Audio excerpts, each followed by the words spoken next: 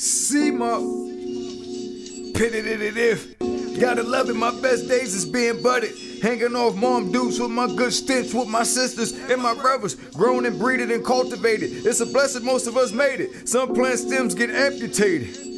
Yeah, some say I turn people out from my smell or just the first hit. I'm from Mexico, but I got cousins from Jamaica with a different scent. Fresh out the greenhouse to the plug's house. Usually they roll me up in papers or tobacco or bong like me and help me, and they blow the smoke out. Heard stories from the older packs and what the plug called a stash. And there were usually roommates with automatic weapons, big wads of cash, met some other flavors along the way. Gorilla Glue, he was cool. Purple Haze, he really purple.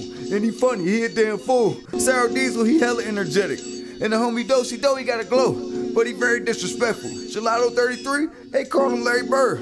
Now that's a whole level. Remind me of the nerves and sprinkles, or that time I met Fruity Pebbles. Blue Dream, he the homie, but he all about slow motion. Girl Scout cookies, heard he make people eat. Every time you smoke 'em, the gun don't say much. He all about business. They call him 357 Magnum.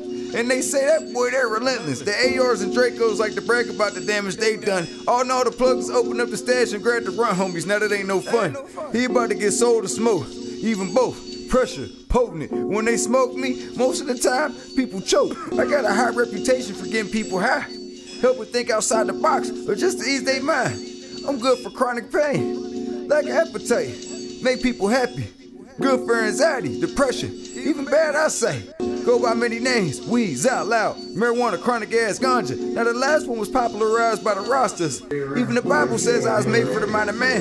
Nowadays I'm in dispensaries, legal states, on high demand. Always in the streets, I'm smuggled in many ways. Everybody smokes me, I'm afraid, and it seems to keep the plug paid. My family deep. You got hybrids, indica, even sativa. My plug's grandma old school. She always calling me reefer. Movies is made after me, songs is dedicated to me. Oh no, I just heard he said Granddaddy Purp. I guess he about to smoke me. Damn.